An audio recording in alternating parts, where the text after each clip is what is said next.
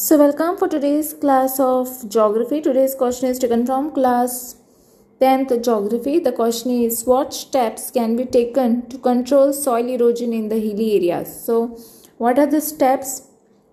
I will be giving you all the two steps. This is your homework question. I am only giving you all the answers. So what steps can be taken to control soil erosion in the hilly areas? The first point is contour ploughing can be uh, can declare it the flow of water down the slopes. And the second point you have is terrace cultivation should be practiced as it restricts soil erosion. Okay, so these are the two points which you all can take down. Okay,